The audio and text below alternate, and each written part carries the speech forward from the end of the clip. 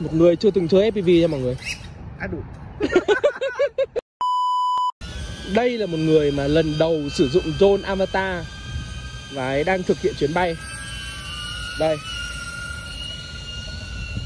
Phát biểu qua sau khi cất cánh thì anh thấy nó bay có dễ không? Nó thực ra bay cũng dễ đấy, nhưng mà những người mới chưa quen thì nó sẽ khá là chóng mặt. Đối với một chuyến bay thì anh luồn lách Thử luồn lách xong thử tốc độ một tí hơn xem nào Dễ đúng không? ừ. Nói chung là sử dụng cái cần điều khiển này thì nó khá là dễ. Nó không khó như mình nghĩ.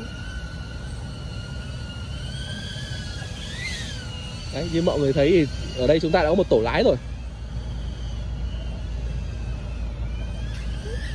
Không sao cả, cứ bay thôi.